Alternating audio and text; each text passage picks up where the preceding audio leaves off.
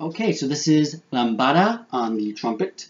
It is the, uh, along with the video link that you had sent on Blackboard, it's the one that has the purple background with a, um,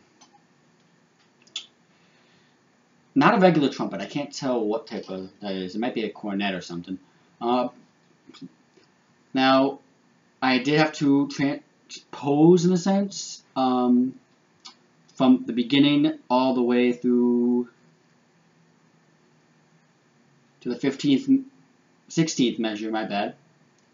Uh, I had the transpose it all down an octave for my lips are still begging for mercy after doing Stand By Me for that melody part is high up there and uh, took a little bit out of me. And um, there were a couple parts I was having a hard time finding in the um, video um, like pretty much from measure 17 all the way to 30.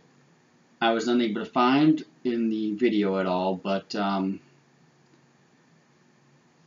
of course, if you look at the um, music sheet, you'll know exactly what I'm talking about, of course. But I did manage to find the ending of the last four measures and like I said, begin into 16. I just had to bring that stuff down an octave. Well, for the most part, there are a couple of notes I did leave alone. Um, but here goes.